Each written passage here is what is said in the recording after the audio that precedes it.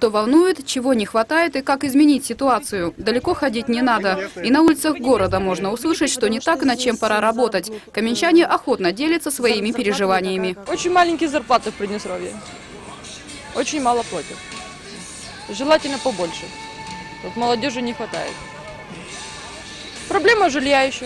приходится как бы супругу уезжать на заработки за рубеж, зарабатывать, потому что здесь нет рабочих мест для молодых. Так, чтобы достойно обеспечить семью. У нас в среднем тут полторы тысячи везде предлагают. Я ходил во все организации, везде отказывают, потому что молдавский диплом. Как бы я прописан всю жизнь был здесь, но все равно молдавский диплом, все. Без стажа не берет, не берет никто на работу, и что делать нам? Нечего что делать. И поэтому, получается, молодой специалист, он никому не нужен. И он не идет работать по профессии, а идет на рынок продавать.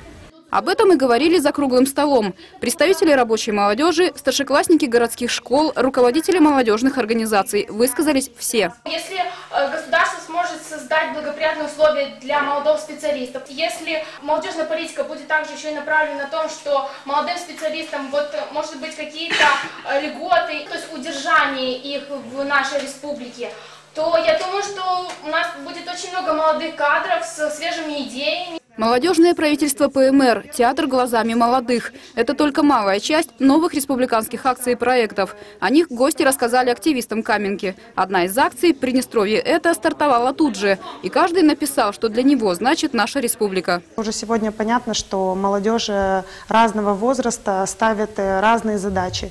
И в том числе э, ставит э, новые вопросы перед нашим государством.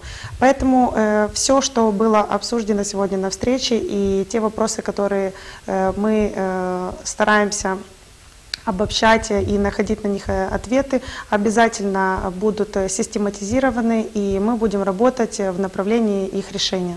Подобные встречи пройдут по всем городам и районам республики. Ольга Консуль, Виарика Шпак, Юрий Занчковский, Первый Приднестровский.